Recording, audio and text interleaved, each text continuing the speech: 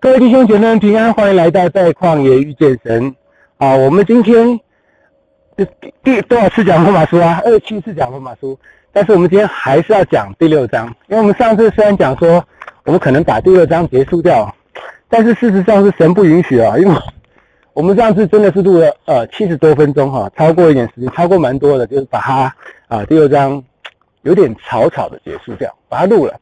这中间呢，因为太冷，所以我就休息了一下。休息一下的时候，碰触到麦克风的哪里，所以那个麦克风最后的二十分钟收音就不太好。所以呢，所以我们把那个就没办法啦，好的大概三十几分钟，然后坏的我们勉强用了十分钟啊。我想这十分钟可能弟兄姐妹真的认真听的话，也是会觉得蛮不舒服的啊。说没办没办法，我们第二章上次录影就只能这样。那这一次呢，既然剪掉了很多，剪掉二十多分钟的东西，我们还是要再讲一次罗马书第六章。那么第六章其实你们看哈，经文并不多哈，只有二十三节的经文，比起第四章什么都要少很多。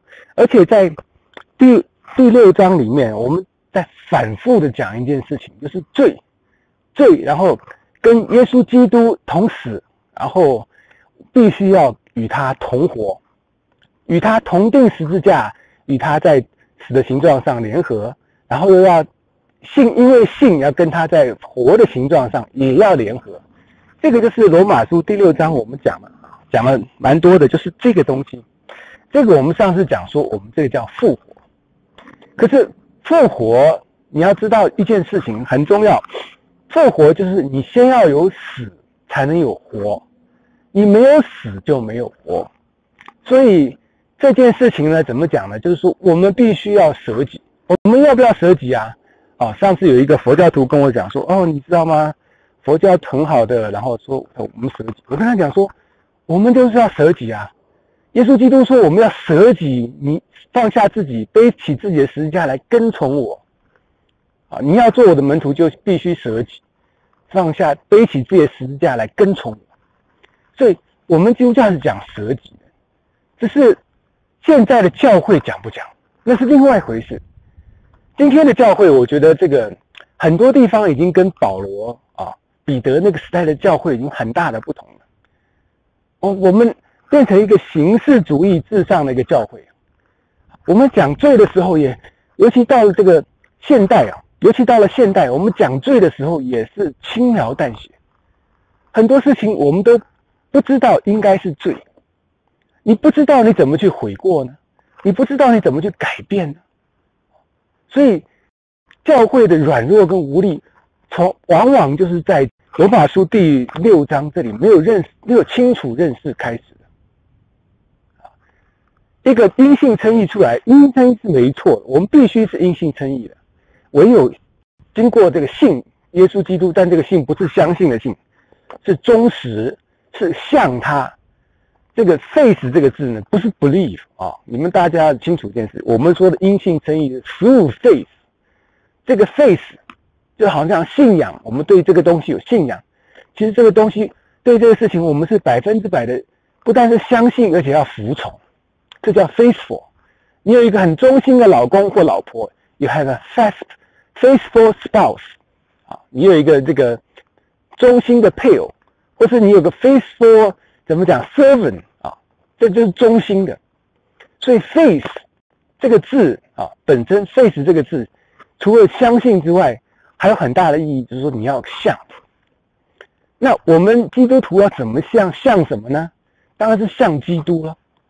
像基督，那么基督犯罪吗？我们像基督吗？我们是说我们像天使吗？对我们这样有的时候不知道天使什么，但是我们想象中天使都是一个良善的天使，对不对？而耶稣基督呢，谦卑柔和。耶稣基督良善，非常良善。耶稣基督犯罪吗？耶稣基督不犯罪。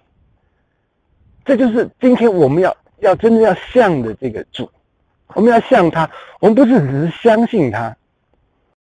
在这个耶稣基督来传道那个时候，是的，有很多人不相信他。如果你连他都不相信的话，你就不可能去像他，你就不可能忠实于他。所以很多法利赛人在第一关就失败。法利赛人第一在第一关失败，都表示说，你只要过了第一关，以后就没有问题了。哦，这个确实确实不是这样。我们不能说我们只要过，我们只要相信啊，相信耶稣基督是神，相信耶稣基督是主，这样我们就有这个完全的 faith。没有没有没有，你只是相信而已，你只是开始而已。啊，你愿意相信他，那么你就要把你的生命什么都交给他。你要舍己，背起自己的十字架来跟从主，这个就是真正走上了信仰的道路，因为你真的是信他。而我们今天教会里呢，我不知道是说是因为大家是求人多，哦，还是求大家都能进来。于是教会有很多很多的教友。我们基督徒现在占地球上能够多少？你们大概猜不到。如果我们以广义的基督徒来讲，啊，中南美洲那些拜玛利亚的啊，这个天主教徒、东正教徒这些通通算。当然，美国你知道，美国很多都相信耶稣基督。美国照说是有百分之七十人相信耶稣基督，可他们相信什么呢？他们相信就是啊，有这样一个良善的主啦，这样子。然后，可是他们小时候也许跟爸爸妈妈去教会，去了一段时间也不去了。然后有的时候我们在这个啊教会宣传力度大的时候，圣诞节什么什么，然后他们有的时候说话的时候说会说 “Oh my God”，“Oh Jesus”，就是这样。这样的基督徒在美国总人口的百分之七十几，但是真正去教会的呢，呃，确实不到百分之十。啊，所以，但是去教会里面，是不是就是完全的我所谓讲的 faithful，就是说他是忠实于主的。主说，呃，你不可以占卜，不可以做这些事情。可是你知道吗？报纸上有一个叫占星术，你知道西洋占星术，中国人很迷信什么生肖啊什么，但是中国人现在也迷信什么塔罗牌占星术。在美国，如果说是百分之四十六的人都是基督徒的话。他们应该不要去看这个占星术这些东西才对，可是你知道占星术在报纸上却是很热门一页哦。如果报纸没有登占星术，它报纸不好卖。当然我们讲是纸媒的时代，现在呢进入到这个电子媒体的时候，还是有很多人相信这种事情，相信又又有改变，然后不只是说相信说占星术这些事情，很多人开始相信别的东西，相信科学，相信什么？你说啊？但是你问他说你是不是基督徒？他说我相信耶稣，他就回答一句我相信耶稣，因为他们听过一件事情叫做因信称义。他意思说我只要说了我相信耶稣，那么我算基督徒，我应该上天堂。那那这个事情就是说离真正啊圣经里所讲的这些相信教徒差得很远很远。这是这是现代人。呃，信仰软弱的一个悲哀。那我相信，在我们听旷野一卷神的这弟兄姐妹呢，会比外头的弟兄姐妹好一点，因为我讲的道是属于比较枯燥的、比较深入的，然后比较有时候探讨你的心的。像我们讲罪，我们就讲了很多，但是事实上我讲的罪远远不够。这是为什么上次神不允许我把第六章的结束的道？你知道，我们要要从罪里，要从罪里活过来。我们要把自己放下来啊！若与基督同死，就信必与他同活，对不对？你要与他同死。你说，可是你知道吗？我们愿意与基督同活啊，我们愿意有基督耶稣基督的生命啊。可是我们不愿意死啊，这是今天最大的问题。一个基督徒不愿意死的基督徒，这是一个很大的问题。为什么？基督徒如果抓住自己的老我，那么，跟圣经上讲的，你若是与基督同死，就信必与他同活。啊，就是你不死就不能再复活，你不死就表示说你现在都是一样。你我讲的这个死啊，并不是说真的生死，而是你知道吗？我们罪在我们的身上做王。这上次讲了十二章，他说不要容罪在你必死的身上做王。如果你不死，你死的话，你对罪死的话，那么你才能像义活着。如果今天我们人不能对罪死，因为犯罪有乐趣，这是我们上次所讲的，犯罪是有乐趣的吗？有乐趣。于是我们就会沉耽迷于在这个罪恶的乐趣当中，我们不能死就不能复活。因为你一直要犯罪，一直要犯罪的结果就是说，义也不能在你身上作王，你还是对死继续辖制。不是说你今天来到教会，我们信了耶稣基督，受了洗，就一切神奇的改变，啊，改变是很神奇，但是你确实你要做一些事情，就是我们必须要向罪死，然后我们要把自己献给神。这是第十三节，不能再献献给义啊，做不义的器具，倒要从死里复活。你将自己献给神，并将肢体做义的器具献给神。你要做义的器具。什么叫义的器具？当有一件义要你成就的时候，神要你去成就，你必须要去成就，你就成为他的器皿啊。这个就是上次我们讲的意思。好了，我们今天还是要。还是要这个继续讲第六章，所以我们还是要念一下经文。但我们今年今天的经文呢，就从十五节开始，一直念到二十三节。十五节一起开始念到二十三节，我们就啊，我们今天就把第六章应该可以结束。希望神允许我这样做。那我们现在就把经文打在荧幕上，由我为大家来念。罗马书六章十五节，这却怎么样呢？我们在恩典之下，不在律法之下，就可以犯罪吗？断乎不可，岂不晓得你们献上自己做奴仆，顺从谁就做谁的奴仆吗？或做罪的奴仆，以至于死；或做顺命的奴仆，以致成义。感谢神，因你们从前虽然做罪的奴仆，现今却从心里顺服了所传给你们道理的模范。你们既从罪里得了释放，就做了义的奴仆。十九节。我因你们肉体的软弱，就照人的常话对你们说：你们从前怎样将肢体献给不洁不法做奴仆，以至于不法；现今也要照样将肢体献给义做奴仆，以至于成圣。因为你们做罪奴仆的时候，就不被义约束了。你们现今所看为羞耻的事，当日有什么果子呢？那些事的结局就是死。但现今。你们既从罪里得了释放，做了神的奴仆，就有成圣的果子，那结局就是永生。因为罪的工价乃是死，唯有神的恩赐，在我们主基督耶稣里乃是永生。阿门！哈利路亚！感谢赞美主。那刚才念的经文呢？我们是从十五节开始啊，我们在恩典之下，我们不在律法之下。但是这个唯有是说，我们当我们开始对罪死的时候，你对罪死，你罪就不能做你的王；你对罪死，你就不再需要律法。律法是对付罪的，律法的提出来是对付罪的，所以我们在下一章第七章开始会讲更多。律法提出来是对付罪。我们如果说我们不再需要用这种方法去对付罪的话，我们就不需要再有律法。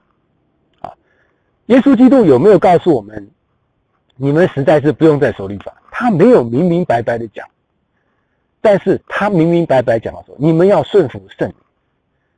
而主在临别赠言给这个门徒们临别赠言的时候，丝毫没有提到你们要守律法，没有，他就说你们。我必赐下圣灵啊，你他会引导你们，就这样子。所以临别赠言中没有提到守律法。那么门徒们后来在宣传的时候，甚至在保罗在给外邦人做使徒的时候，他也说了第一件事：你们要不要受割礼嘛？后来在罗马书里很清楚讲到，我们前面讲到割礼毫无功用，所以所以这个如果割礼不守的话，其他律法呢，你要再守吗？就没有这些问题了，对吧？就没有这些问题。所以在第十五节讲，你们今天既然在这个恩典当中，你不用守律法，但是你可以再犯罪。说当然不可，断乎不可啊！哦，因为我们今天是做义的奴仆，我们不再是做罪的奴仆啊。如果你犯罪的话，很可能又被罪抓回去做奴仆。所以，我们今天基督徒是在一个两难之中。我们希望，我们当然是处在恩典当中。我们有了这个恩典以后，我们觉得说啊，律法不用管我们了。很多基督徒就开始犯罪。这里所讲的所犯之罪，不见得是说，不见得是说那个真正你去偷啊、抢啊、骗，偷抢骗是犯罪，可是神所讲的罪里面有很多很多其他的东西，很多很多的东西，包括贪心是大罪，啊，贪心跟拜偶像是一样的，贪心是大罪。我们人贪不贪心呢？我们人其实很都很贪心，啊，那你看，有的时候我们看这个电视节目，羡慕也是一种。如果说我们神要给我们好的生活，我们可不可以享受啊？我们当然可以。可是如果说我们看到别人的生活很好，我们就心生羡慕的话呢？这就是一种罪。而而常常我们看到，因为现在的媒体太发达了。以前是杂志啊，杂志广告、报纸广告，现在是你去看什么 YouTube 啦，什么这些东西啊，啊都有广告，很多广告就一直跳出来，让你买买买，买买买的方法很多，就是说告诉你，你看这个东西多美好，谁在用？啊，用的人他你看那个每个人都笑容灿烂的样子，好像我有了这个东西，我就非常的高兴。啊，最近我也在迷一个东西，就是。加州，美国加州嘛，很多人迷 Tesla，。然后我们有一个啊小组，有一个弟兄也买了一个 Tesla。他就有一天就我们在到一个弟兄家里去吃哀宴的时候，我停好车以后拿东西下来，因为我们要带东西去了嘛。然后呢，他就从这边又开过来，开过来以后他也不去停车，就等我走过去，然后再看，他就打开车窗看着我。说真的，那一那一刹那，我真的是。心里有一个很大的羡慕，因为他的车开过去的时候是这种没有声音，而且我从广告上看啊，他的天花板那个屋顶是多漂亮啊什么，我真的是羡慕。他呢，他也许也是有意要我来羡慕，这就是一个，这个就是你自己要对付的事情。你想不想让别人羡慕？人人都想。为什么我们今天在 Facebook、在什么微信、在 Line 里面？啊，我每天吃一个东西，我都要照张相，剖出来。我每次去一个地方去玩，我都想要照张相啊，剖出来。为什么？我们想要别人羡慕。哎，你看我多我的生活过得多好，我有吃有喝有玩。啊，这个让人家羡慕，这种心态是不是一种罪？啊，我们先不要把话讲那么死，但是这个心态确实是不好的，对吧？然后我们如果看到别人有，我们也很羡慕，然后我们。就开始起了种种的贪心，这个真的起贪心啊！我就开始想啊，我如果有这个该多好啊，怎样怎样，然后就想说，嗯，最好能多赚钱，最好能在股票上发财，最好能够怎么样怎样，这样那样。我们心里会有这样的想法，会有这样的冲动，这是贪婪。看到。有的时候有占便宜的心理，我实在没有办法想象耶稣基督会占人家便宜啊。然后特别是现在广告的，现在那个厂商也知道，人都喜欢占便宜，所以我给你一些便宜占，所以你来买我的东西，这就是成广告。我们常常说，哎呀，广告这个东西打折，我就赶快去买啊。所以会不会有这种心理？会有。我们，但是我们事实上，我们应该要这样做吗？我们应该受做广告的奴隶吗？我们这里说，我们不要做罪的奴仆。我们要不要做商品市场奴仆？其实，商品市场说穿的是一种是一种罪呀。任何一种东西把你脱离开神，就是一种罪。神会充足供应我们的。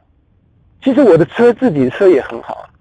我我开的是那个速八路，啊，呃，叫做 Crosstrack，就是那个 cross 呃 crossover 的那个 SUV 小 SUV。我我两年前是二零一六年买它的时候，三年前啊，三年前买它的时候，我蛮开心的。哎呀，新车啊，好棒啊，真的。但是我现在看人家开电动车无声，然后反应又很快那种，我会羡慕。可是我的车呢？非常的好啊，完全满足我的需要啊。那我要不要再花钱去买一部那个换一部车？还是说我拿这个钱，我要储蓄起来，将来要为主做更多的事情？我相信主给我的看见是说，我还要做更多的事情。所以我必须，我不应该把这个钱花在完全不需要地方，满满足我的虚荣心。啊，所以啊，这个我们今天啊，是不是在最里面？其实我们很多人都还是在最里面而不自知。啊，这个帽子一直掉下来，因为为什么呢？因为湿气大。这个帽子很干的时候，它就它就比较硬一点，它就会站起来。但这个帽子如果在湿气很大的时候就掉下来。所以，哎，没跟因为没关系哈。这个你们今天不是来看我长得很帅或长得很漂亮，我们今天就是很挫挫的样子。但是这个是保暖的啊，你们就这样看一看就好，我不去管这个东西啊。那十七节哈，你要知道我们是不是真的得救，是不是真的在有耶稣基督的灵，在耶稣基督生命在我们身上，我们有一个很简单的方法可以判断。因为我们都是重生的基督徒的话，你要知道一件事，你要知道，你要知道罪的可怕。十七爷就告诉你们一件什么事？他说：“十七爷说，感谢神，因为你们从前虽然做罪的奴仆，现今却从心里顺服所传给你们道理的模范。所以，你今天你知道你以前是怎么样做罪奴仆吗？”从前，现今，现今我们从心里顺服所传给你我们到底的模范，顺服基督。从前我们是做罪奴仆，现在顺服基督。我们想想看，我们自己的生命啊，我们的生命是不是真的说我们是从前是在做罪奴仆，还是说我哎奇怪？我想想看，我从做基督徒前做基督徒后，受洗前受洗后。受洗后这么多年，我有没有生命有没有这样的变化？我有没有真正认识到我以前的罪在哪里？还是说我以前的罪我就是不认识耶稣基督而已？啊，这个就是，这个就是大家必须要真的去了解一下的事情。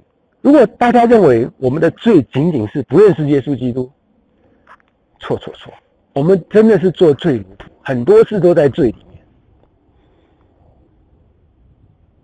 我们选老婆、选老公的时候，追求表面、肤浅的东西，对吧？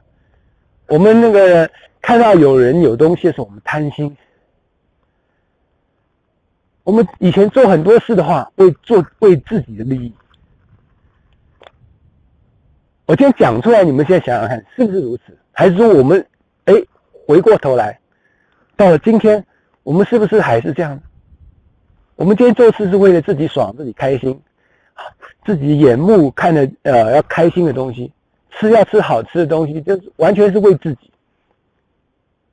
还说我们今天生命已经有变化，我们知道生命中除了为自己以外，还有很多事情是我们必须为别人。从前、现在，还有哪里有讲从前跟现在呢？你们既从罪里得了释放，就做了义的奴仆。我因你们肉体软弱，就是照。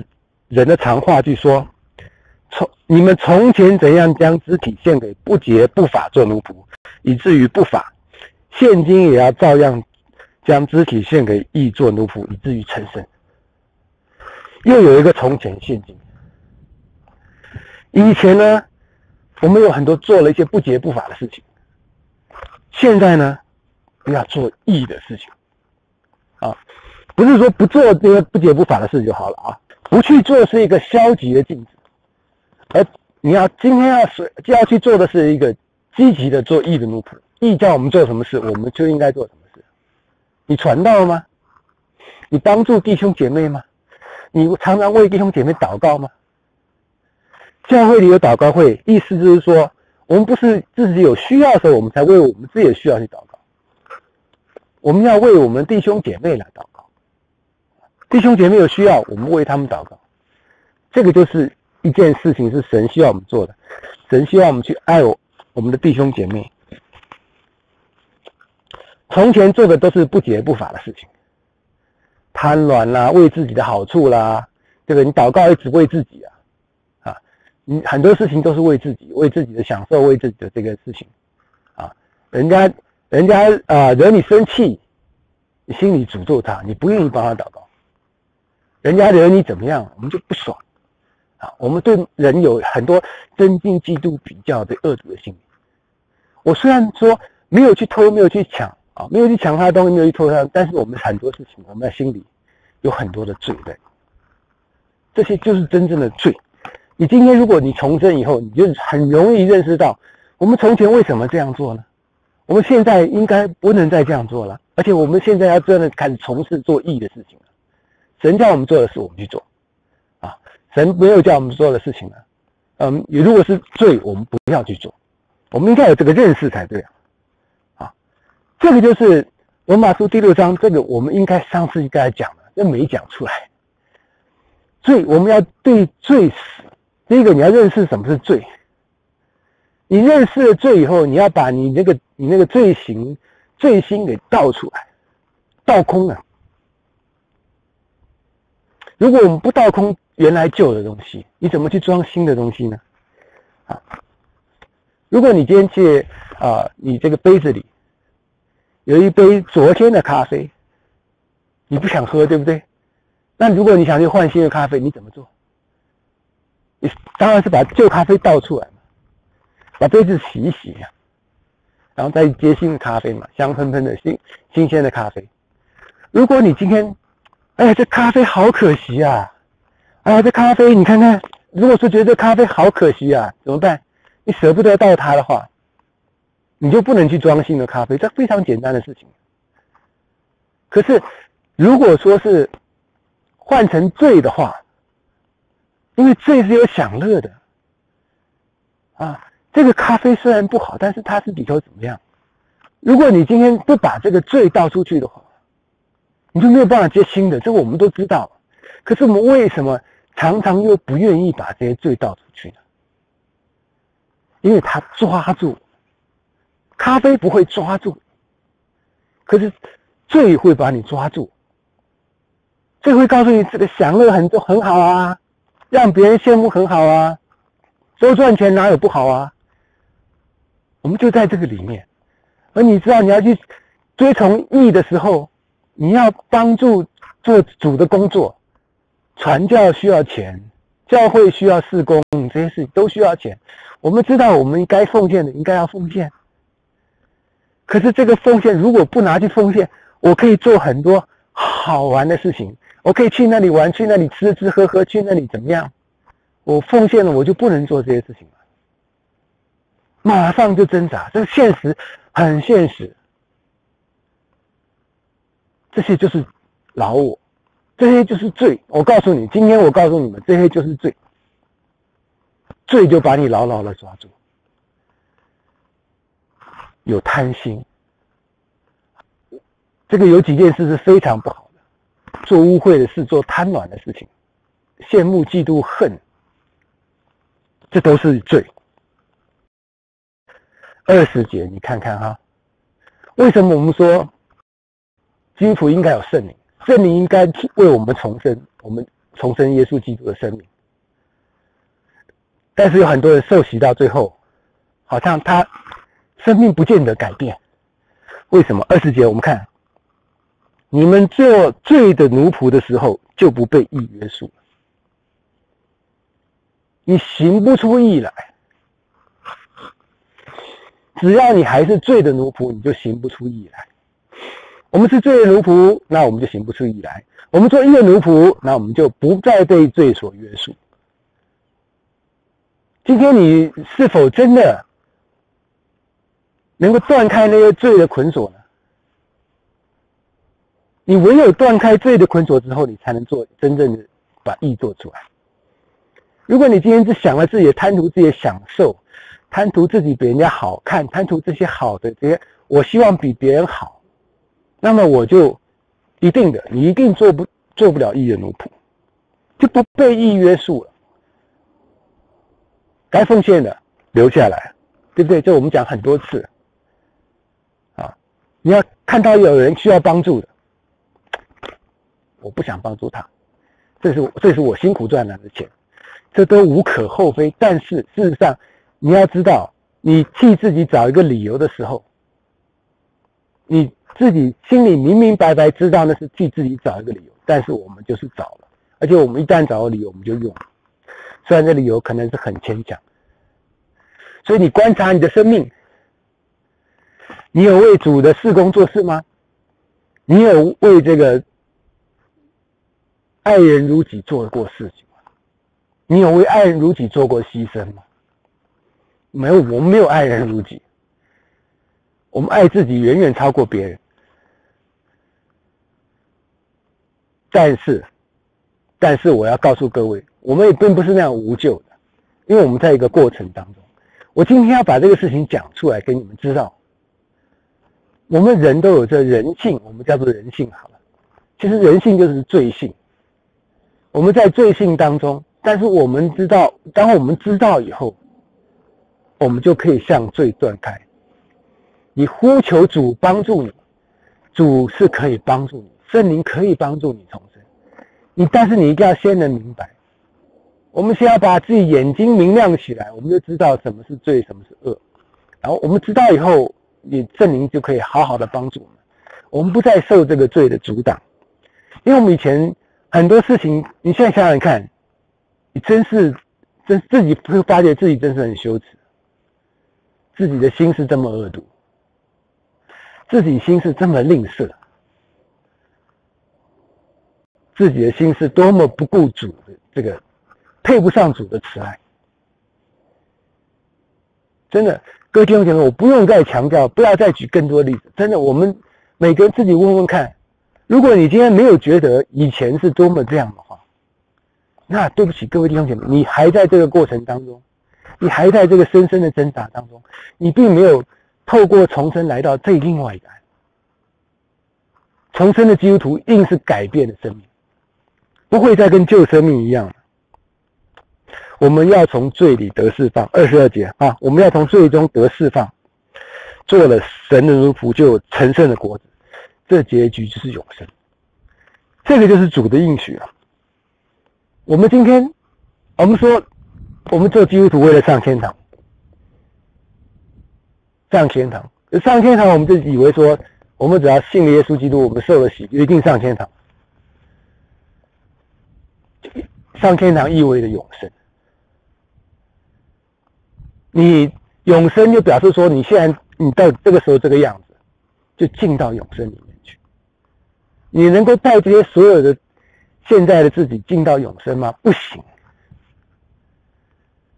这些东西很多不好的、不行的、不洁的，都一定要烧掉。可是我们烧掉这些以后，我们还剩什么呢？这个就是另外一个问题。我们把这些东西都烧掉以后，我们还剩什么？我们如果除了最被我们控制的地方，我们都烧掉以后，我们还有剩什么？我们有多少这个？呃，有多少义心？有多少爱心？有多少想要帮助人？是的，这个罪很难控制，很难完全断绝。这我也明白，我也是。但我现在深深知道，我以前做的很多事情，或我以前的心就是很羞耻的。那么这些东西还是有偶尔会来攻击我们，很难断绝。但是最后的时候，我们进去。我们最后会有火显现，会把这些东西烧掉。只要不是说你所有的生命都建筑在那上面的话，你的生命就不会被烧尽。可是好了，你有什么可以剩下来的呢？我们是在耶稣基督的磐石上建造的，我们建造出了什么？这工程是要得以保留才行。你今天对人有爱心吗？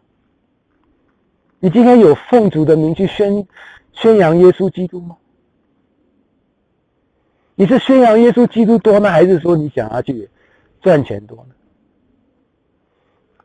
你知道今天我们去赚钱，就变得把自己变得好看，啊，把自己变得啊人人羡慕，这些东西都要过去。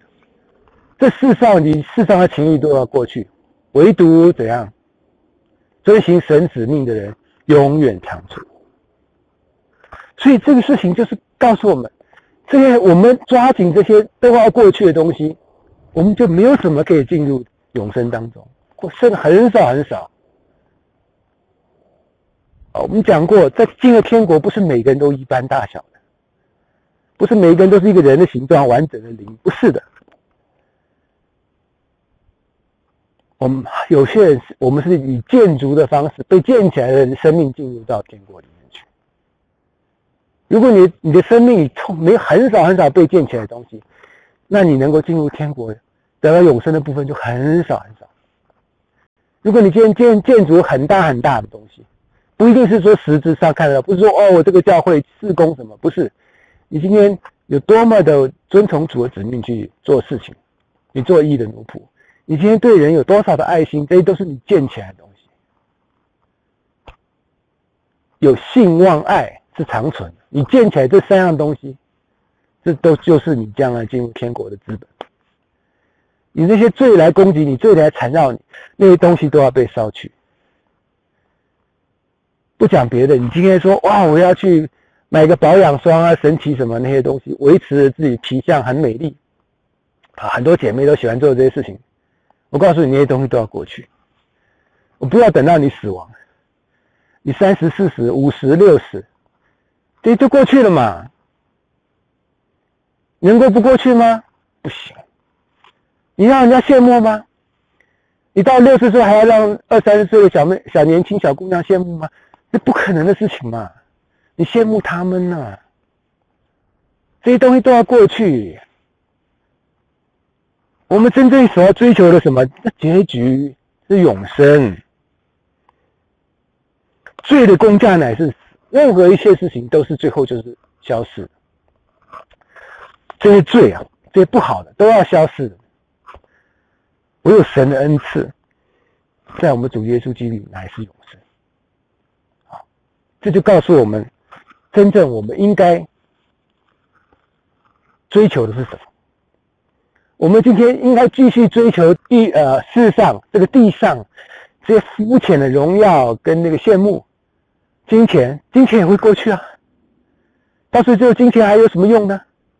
生命没有的时候，是金钱都没有用。所以我们要为来世做准备啊。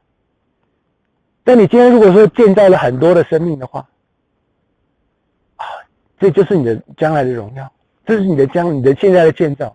如果你今天很爱心帮助了很多人的话，这也是你的这个你所建立的东西，而不是以前啊，我曾经我以前很傻啊，喜欢开跑车，对不对？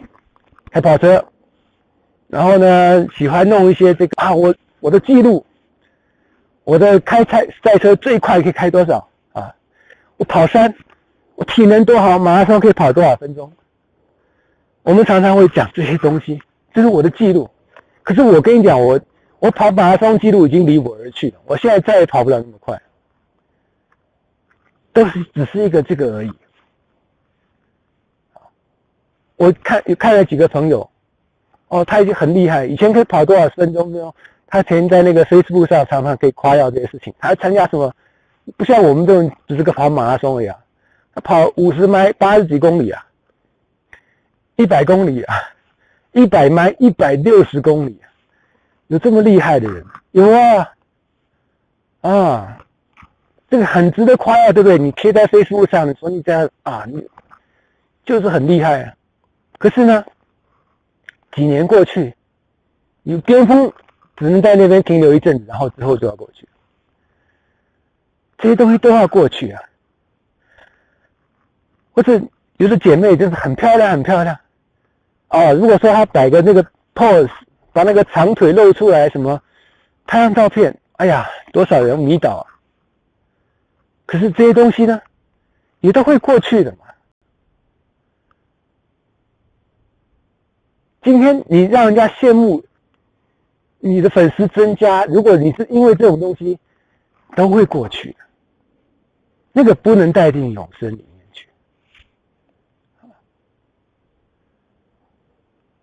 唯有顺服圣灵，长出生命，那才是真正的，那才能进到永生。而而我们是要做基督徒，应该是要追求这一个，而不是在追追求最终的享受，最终的享受都要过去。所以这一很多事情要值得我们思考。我们要想想看，到底哪些是值得我们思，哪哪些是值得我们追求，真正值得追求，哪些是这这个东西怎么追求，最后都会过去的，你必须要放弃。我们必须想清楚，我们做基督徒啊，说真的，就是你把罗马书第五、第六章啊想的清清楚楚。那你就真正可以准备好做基督徒，真的。如果我们不认识罪，如果我们不认识这些事情的话，我们没有办法，很难。有些人可以顿悟，但是很多人不能顿悟。不能顿悟的话，就不行吗？我们就教导你们，我们提醒你们，人是需要提醒的。有的时候是圣灵来提醒，有的时候是借的道提醒你。但是守律法也不是，守律法也是要过去的。律法是有一定的功效，律法是一种对我们的提醒。